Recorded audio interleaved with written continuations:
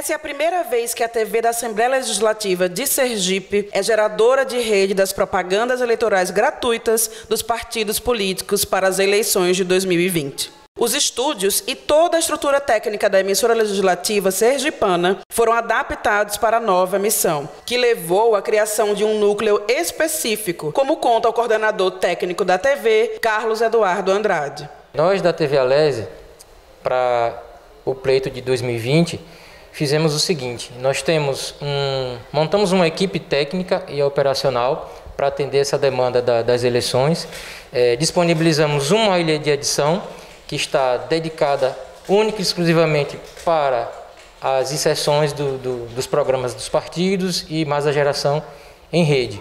Né? Tendo em vista que esse ano a, é a primeira vez né, que a TV Alese vai ser geradora da, do programa em rede. Então, isso faz com que nós, assim, né, tenhamos uma responsabilidade maior com a geração da, da propaganda eleitoral. Então, foi montado uma equipe técnica operacional e mais uma ilha de edição para atender as demandas da, da, do pleito de 2020.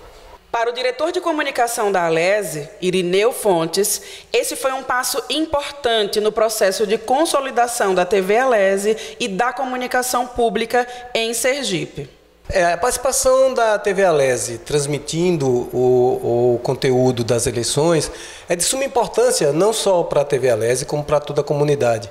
Isso prova o trabalho que a TV Alese vem desenvolvendo na sua organização técnica, na sua organização de programação, e aí tem a confiança do Tribunal Eleitoral de repassar esse conteúdo. A gente é, é, é, nos sentimos orgulhosos de estarmos dentro dessa rede e fazendo o nosso papel, que é um papel de passar a informação correta para as pessoas.